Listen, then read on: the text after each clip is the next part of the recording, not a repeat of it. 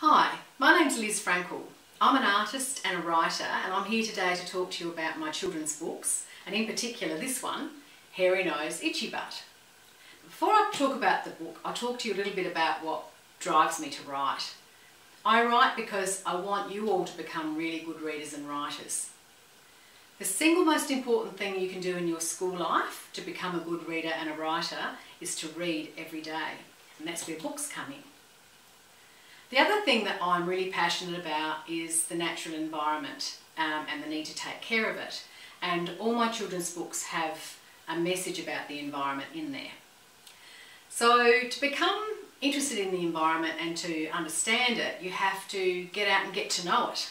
I'm really, really lucky because I live in the bush and I have a really, really big backyard. So I immerse myself in nature all the time. So I'd like to share with you a bit of that. So come with me and check out my backyard.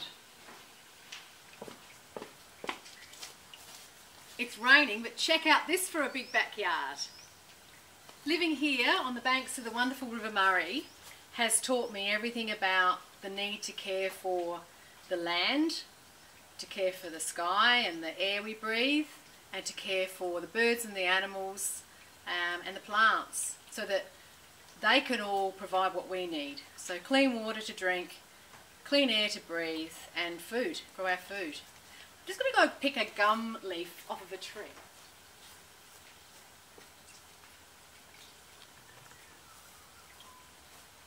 Now if you're lucky enough to have a gum tree in your backyard, I'd like you to go out and pick a leaf.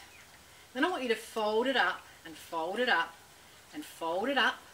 Keep folding and scrunching the leaf if you can't reach a fresh one from up in the tree, you can grab a dry one from the ground. And then keep scrunching until it gets really quite gooey in your hand. And then have a smell. Oh my goodness. Oh, here comes my dog. You want to have a smell, Rosie? Makes you sneeze, doesn't it? Yeah. It's really strong smelling of eucalyptus and it's just wonderful. It's come straight from nature. It smells like you might might have smelt it in chest rub or maybe cleaning products, but it's eucalyptus, it's natural. So that's your little lesson in nature today. So if you would like to get any more little lessons in nature, please pick up one of our books and have a read today.